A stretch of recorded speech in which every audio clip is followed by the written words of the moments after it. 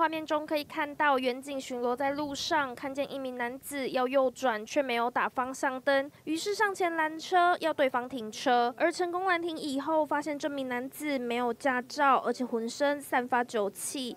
被查出酒驾后，还乱扯说是因为刚刚有吃咸酥鸡。带你看一段当时的情形。在在在在在在在，我头食咸酥鸡啊！零点一五到零点二。咸酥鸡跟你酒驾无同啦。事发在十八号晚间七点多，高雄一名无姓男子骑车行经凤山区新富路，因为右转没有打方向灯，被后方巡逻员警拦查。而过程中，员警发现他不但是无照驾驶，身上更有浓浓酒气，于是进行酒测，果然酒测值超标。吴姓男子甚至瞎扯说是因为自己刚刚吃咸酥鸡的原因，也被员警反驳这跟酒驾没有关系。最后当场被上铐逮捕，移送侦办。